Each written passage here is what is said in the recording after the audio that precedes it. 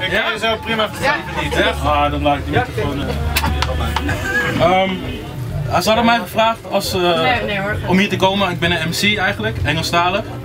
En normaal kom ik dus met een DJ, maar ja, heel veel ruimte hadden we niet hier. Dus toen eh, had ik gezegd van ja, dan doe ik het zonder DJ. Dan zou ik eigenlijk gitarist meenemen, doen we een paar songs. Maar toen dacht ik van, nee, misschien is dat het ook niet echt. En aangezien jullie mij helemaal niet kennen, heb ik deze hele performance in elkaar gezet, gewoon zodat jullie mij beter kunnen leren kennen. Dus in plaats van All Sincere kunnen jullie aan het eind van deze show kunnen jullie gewoon Sergio noemen.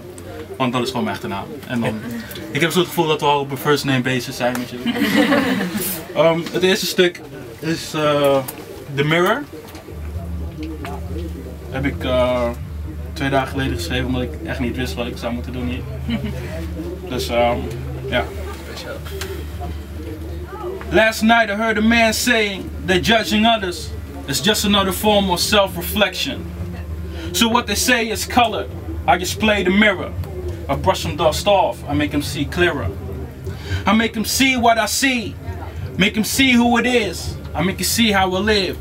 I make you see me. Me. As Dr. the Bully. On the grind day and night like Kid Cudi. Your arrogance couldn't touch me. Keep it. Say what you say. You can also believe it.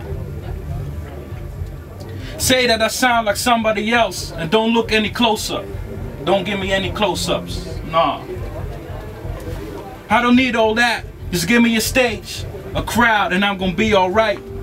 I'm gonna keep this tight together with my team.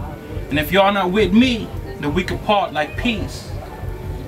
But who can say without lying that he is objective? Or say he's not tainted by a certain perspective? I show you who's lying. I show you who's blind to the facts. Facts I got them. I throw them in the pot. I mix them up with a little sincerity. And what do you got? And MC who's gone. I get lost in songs. They say he's kinda whack or his flow was strong. He's way off the map. He's kinda fat. Sorta this and that. But I'll never react or in the act. That's the reason why I say get to know about the dude. Why don't you walk a mile in my shoes? Do as I do and recognize the worth and see a little all sincere inside yourself. Church.